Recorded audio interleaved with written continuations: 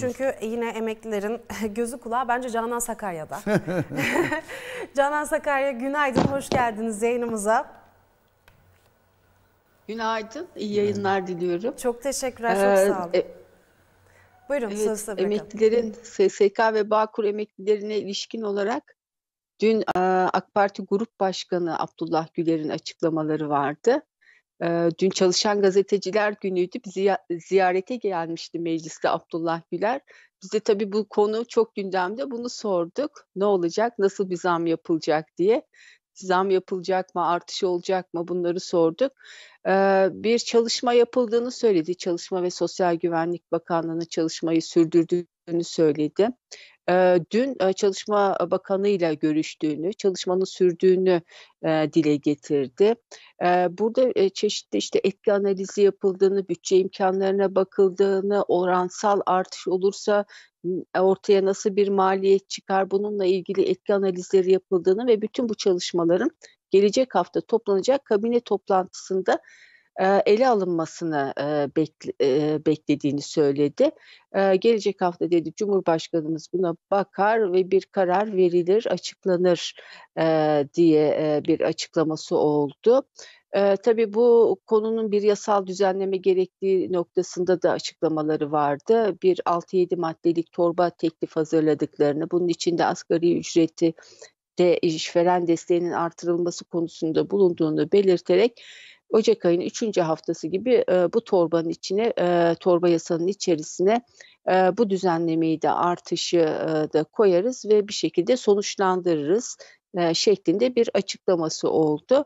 E, genel hatlarıyla böyleydi e, işte e, sıcak bir gelişme olarak dün e, SSK ve Bağkur emeklilerine ilişkin e, AK Parti yönetiminden gelen açıklama. Bunun dışında yerel seçimlere ilişkinde e, çalışmalar sürüyor. Dün gece yarısı öğle saatlerinde başladığı çalışmayı e, CHP e, bir gece yarısı sonuçlandırdı ve 240 civarında belediye başkanı adayını açıkladı. Yine MHP 55 e, seçim bölgesindeki belediye başkanını açıkladı. Bunun içinde Mersin ve Manisa var. Buralarda MHP kendi adayıyla seçime gidecek. CHP cephesine baktığımızda Mersin, Adana, e, yine Aydın'da mevcut belediye başkanları ile gidilecek. Eskişehir'de bir e, değişiklik söz konusu oldu. E, Yılmaz Büyükerşen'in yerine e, eski genel sekreter e, Ayşe Ünlüce aday gösterildi. E, burada bir değişik var, değişiklik var. Ayrıca e, Ankara'nın Etimeskut ilçesinde oyuncu Erdal Beşikçioğlu aday gösterildi. Bu epey bir dün gün boyu Ankara'da konuşuldu. Ee, Ankara Büyükşehir Belediye Başkanı Mansur Yavaş'ın buna karşı çıktığı şeklinde e, değerlendirmeler vardı. Gece bir gibi e, CHP sözcüsü yaptığı açıklamada böyle bir gerilimin e, tartışmanın olmadığını e, dile getirdi. Yine CHP'nin açıkladığı belediye başkan adayları arasında 23 e, kadın aday bulunuyor. Tekirdağ'da Candan Yücel, Afyon'da Burcu Köksal var. Ee, yine Bilecik'te Melek Mızrak Subaşı ile devam ediyor. Kadın adaylar da e, sayıca oldukça fazla görünüyor. Evet. Peki. Peki bu e, ayarlamalarla ilgili yani işçi e, ücretleriyle memur ücretleri arasında ve e, tabii emeklileri de ilgilendiren çerçevede senin izlenimin ne? Yani nereye doğru şimdi sıcakta bir görüşme olduğu için nereye doğru evriliyor bu iş?